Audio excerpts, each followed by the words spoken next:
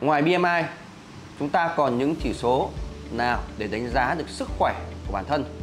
Sau đây tôi sẽ chia sẻ với các bạn ba chỉ số mà chúng ta có thể hay gặp. Một là công thức Lorenz.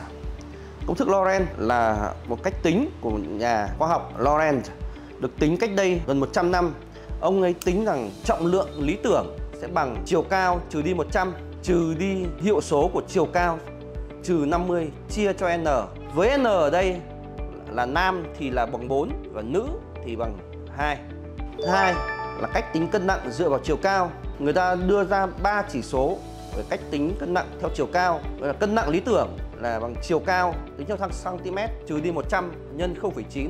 Cân nặng tối đa thì được tính là chiều cao trừ 100 nhân 1 và cân nặng tối thiểu bằng chiều cao theo cm trừ 100 nhân 0,8. 3 là tỷ lệ eo chia cho mông. Tỷ lệ vòng eo trên mông sẽ bằng là chu vi vòng eo cm chia cho chu vi vòng mông trên cm.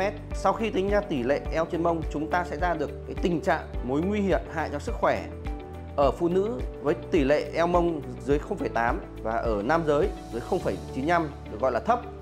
Ở phụ nữ từ 0,81 cho đến 0,85 và ở nam giới từ 0,96 cho đến 1 được coi là vừa và được coi là cao với ở phụ nữ trên 0,86 và nam giới trên 1.